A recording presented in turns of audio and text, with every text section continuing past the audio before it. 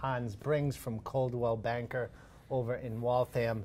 The good news, Hans, is that inventory is starting to increase, especially in your market, right? It is. So that's a positive for the buyers, but there's still competitive offers out there. There are, Chris. We are still seeing multiple offers on properties all the time, uh, and properties are still selling, you know, well over the list price. So for the buyer out there that's looking to be competitive, coming up against other offers, what should they be thinking about? Number one, ask the question. You know, ask the broker, are there other offers that are going to be coming in on this property that I need to comp- compete against? Um, if there are, you know, research the comparables, see what else is selling, but know that the past doesn't always apply anymore. Um, properties that sold two, three months ago or six months ago, those prices are old prices, and prices have gone up potentially since then. Makes sense. Absolutely, absolutely.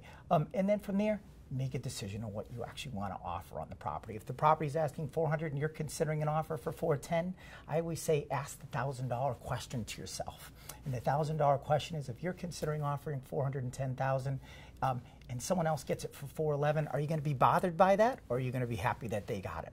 If you're happy they got it, great, you found yourself your sweet spot. Um, if you're not, if you would have paid 411, then pay 411 and keep going down the line until you figure out what that magic number is for yourself and stick with it. Sometimes it takes people to get burned, unfortunately, on their first deal, but I know that that hurts a lot of buyers out there when they it all the realize that they just lost it.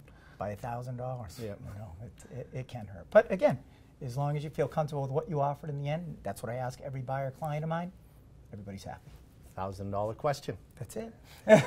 And if you'd like to work with Hans and ask the thousand dollar question, you can connect with him and his team directly simply by going to his website at hansbrings.com. And remember, we have more tips right here on our page on Real Estate Talk Boston.